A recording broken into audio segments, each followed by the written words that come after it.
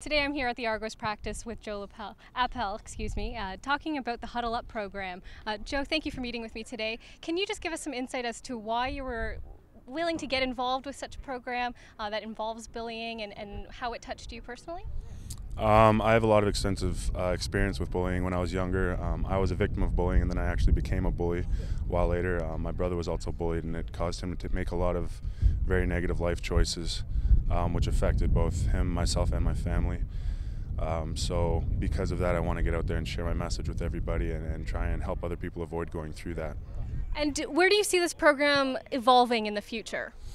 Um, you know what? I've seen it evolve just in the last three years that I've been working with the organization. Um, we get out there, we reach more kids. The kids are uh, beginning to develop their own little committees at their schools, and and every kid we reach, they can go out there and help at least one other kid. That's going to continue to spread, and um, as the years continue, it's just going to help get it uh, better.